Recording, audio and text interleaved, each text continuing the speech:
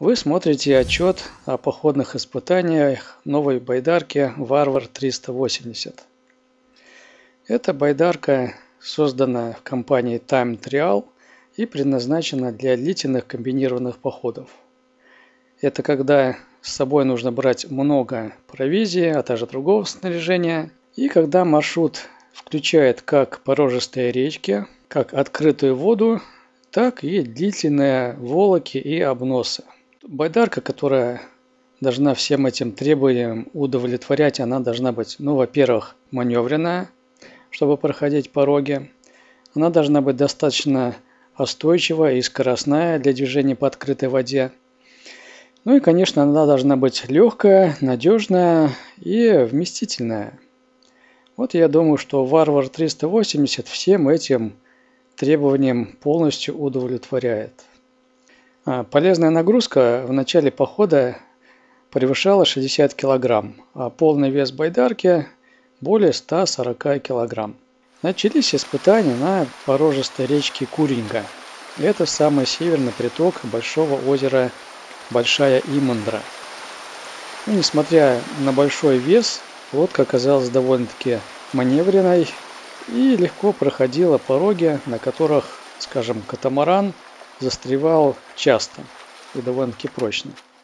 Э, лодка отлично вписывалась в повороты на порогах, хотя нередко вылетала на камни, но вот эти вот вылеты и пролеты на большой скорости по подводным камням, они не оставляли на ней никаких повреждений, за исключением очень таких трудно заметных царапинок.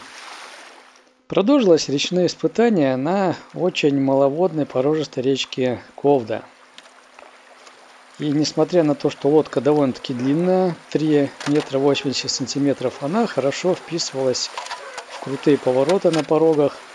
Благодаря малой ширине она хорошо проходила, даже когда между подводными камнями расстояние было всего сантиметров 70. Несмотря на очень малую воду, она легко проходила пороги до третьей категории сложности. Испытания продолжились на Больших озерах и Белом море. На открытой воде лодка отлично шла при довольно-таки сильном встречном ветре. Благодаря большой длине лодка отлично держит курс, особенно при встречном ветре.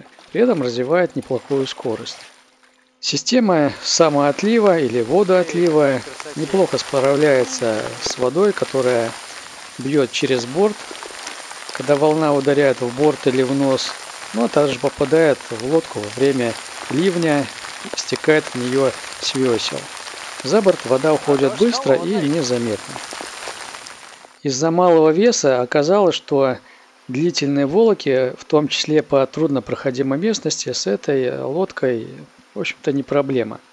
Приходилось проходить сотни метров по курумнику, по большим камням лодка легко переносится, если ее просто повесить на плечо. Лодка отлично перевозилась на тележке вместе с другими вещами по хорошей асфальтированной, а также по лесным дорогам на общее расстояние 15 километров за один день. Лодка довольно вместительная, и в ней удавалось разместить большую часть вещей так, что они не сильно выступают за, над бортами лодки. И это очень хорошо, так как, во-первых, повышает устойчивость. Когда вещи все расположены низко, значит центр тяжести низкий. И во-вторых, когда вещи меньше выступают над бортами, это уменьшает парусность, особенно боковую. Чем ниже вещи расположены на лодке, тем легче идти при боковом ветре. Материал, из которого сделана лодка, довольно-таки устойчивый. При морских переходах э, приходилось не раз на довольно-таки большой скорости садиться на камни, покрытые острыми морскими ракушками. Тем не менее, никаких опасных царапин на дне лодки обнаружено не было. Благодаря низкому носу байдарки она легко протыкает встречные валы, имеет довольно низкую носовую парусность. Так что я считаю, что на сегодняшний момент байдарки Варвар 380 сочетает в себе как отличную проходимость, так и высокую скорость. На мой взгляд, это сейчас одна из лучших байдарок для длительных комбинированных походов.